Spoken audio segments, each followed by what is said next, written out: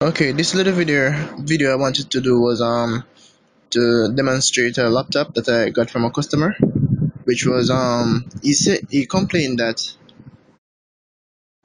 he was using the laptop for about two hours or so, and then all of a sudden it said something about replacing um disk one or something like that. But he said when he tried to restart it, it would only like um you know um it will start up past the post the post menu when it's trying it's trying to do the post. And then before it even do anything else it, it restarts again. And then it just continue to do it do over and over and then it just shut down. So I went on the internet and look up it and I saw a forum that's saying that it's um, it should be caused by overeating. So I went and opened the laptop and to look um, in the vent to see if I see anything. Um, this is the model of the laptop by the way. Where it is. Get the flashlight. There it is. The Compaq 510p and I see it's a business laptop by the way. So I, I went ahead and removed the screws. After you get rid of um you have to pull two screws underneath beneath the laptop which is where the keyboard um screws are. You have to remove those. Then you have to remove another one on this side of the laptop underneath which which holds down you know this little panel here. After you do that where's that keyboard? Yeah. After you do that um and to take off this thing then there's some little latches right here which you have to bring you have to bring them back. Because it actually holds the laptop in place. If you see it goes out you have to use it to bring it back. Once you done that once you have done that then you need to remove these screws in order to take off the heatsink and the fan. Or you can take out the fan but I'm just taking out the heatsink to reapply some thermal paste to it. You have to take out a screw here screw here. You can take off this if you want. Yeah. To get to that one. A screw here and a screw here. Right here. But this one you have to take out two screws. And this silver thing that's um cover over it. Yeah. Once you do that I found when um when I tried to take out the fan I found a very interesting um sight it's kind of disturbing. Seeing that this laptop has never been cleaned since the day um it's you know brought from the store then I, I shouldn't have been surprised but I was. And this is what I found.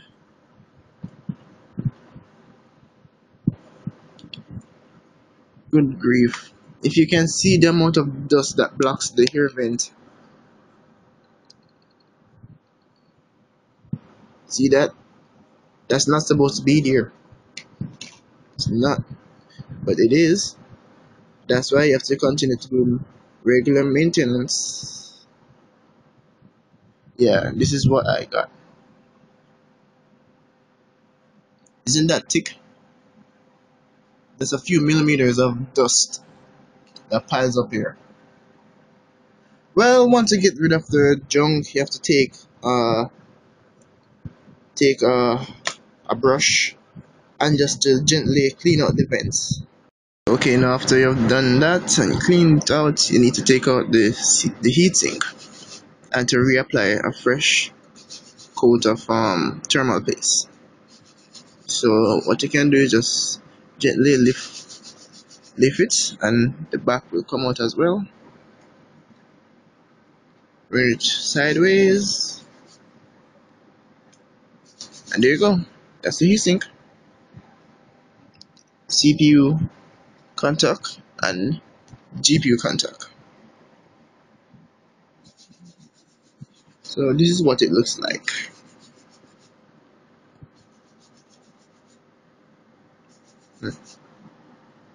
Yeah these things are dried. So what I'm gonna do is to use a piece of cloth um, you can use little alcohol or anything that's non-conductive and to just wipe off the surface surface area surf, the surface area of contact. Just use it gently and just wipe off you know all three surfaces. Contacts. You're now ready for the next stage. Please be reminded that make, make sure you clear um you um clean off the heatsink as well. In this point here and right here. Yeah. And those two metal things at the top one at the top and one at the the right make sure they're both clean and um that little plastic thing that was on it. Remove it. You know, this thing here is gonna be sticky. Remove that because we're going to reapply a new coating. Now it's time for the thermal paste I've got a little bit here but I'm gonna apply it to our contacts. Should be enough okay. So what you want to do now is to apply a little bit not too much to overflood it or anything. Something like a pea size to be exact. Alright so what you want to do is spread it like this uh,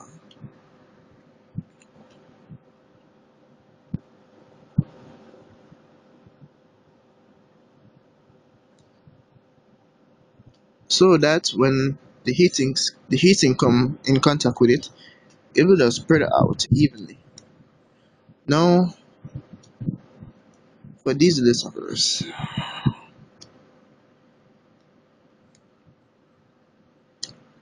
a little bit here.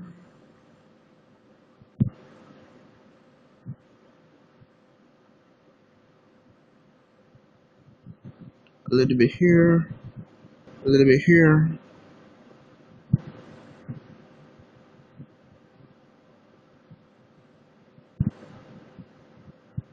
Okay see there's a thick one here. Okay a little bit here.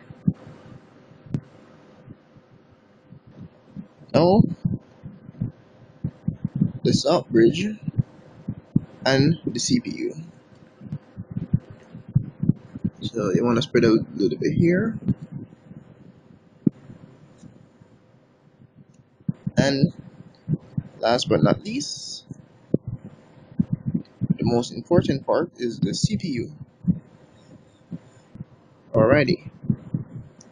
Now that we have all the contacts um, contact it's time to put on the heatsink. Now after the heatsink is replaced has been replaced now it's time to screw back the screws. So take your screws and know put them in. Provided that you have replaced the screws and to make sure that everything is properly secured so now to put in the fan. And what you need to do is just slide it in. That's it. Just screw in the screws. So screw number one here screw number two down here.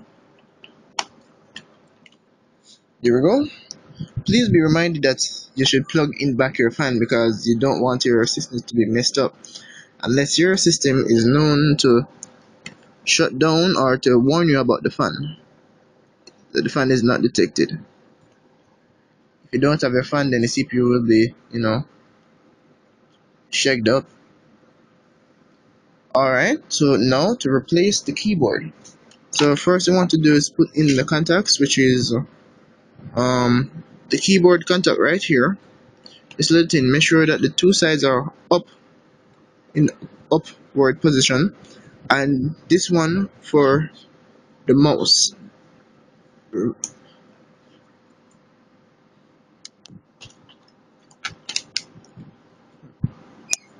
You know what? I can't do it. Um I'm gonna resume the video as soon as I'm finished.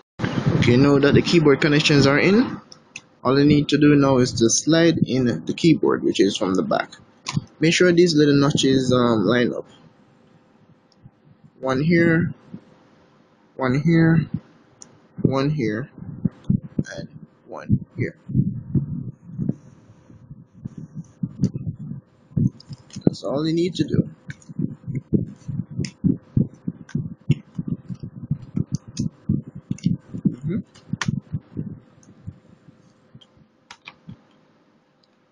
Now, the keyboard, remember, remember that the latch I told about earlier at the top of the keyboard? Uh, you need to push them out again. That's one. Two. Three. Four. Alrighty. Now, for this piece, all I can do is just push it down.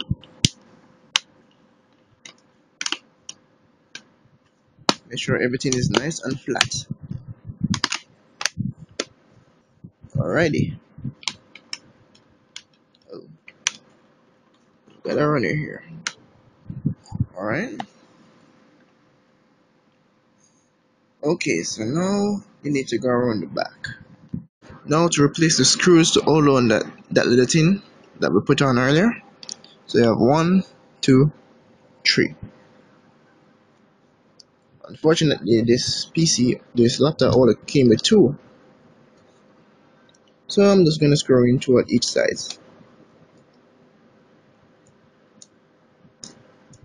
Oh, I almost forgot. There's one more that should that should go right here. The hold on the other side of the thing. One here as well.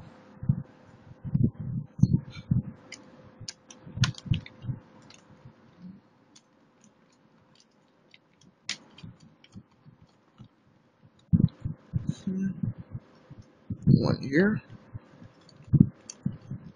And one here. Do not do me that. Great. Now for the last two, which is the two for the keyboard. If you look at the keyboard, you should see a sign as a keyboard sign above it, the one here and the keyboard sign. There's one more right here as well. Okay, so you want to screw in those.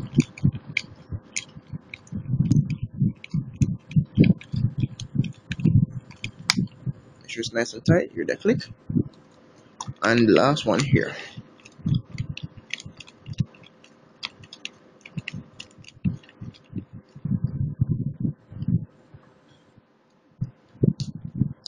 Now we put in the battery and that's it.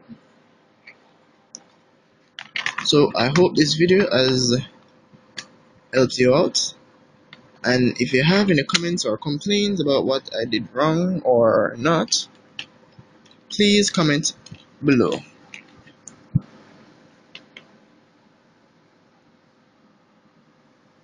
Trust me, your comments mean a lot. I hope this video helped you out a lot and uh, hope you enjoy the rest of your day. So this has been Decoder Tech on YouTube and see you later guys.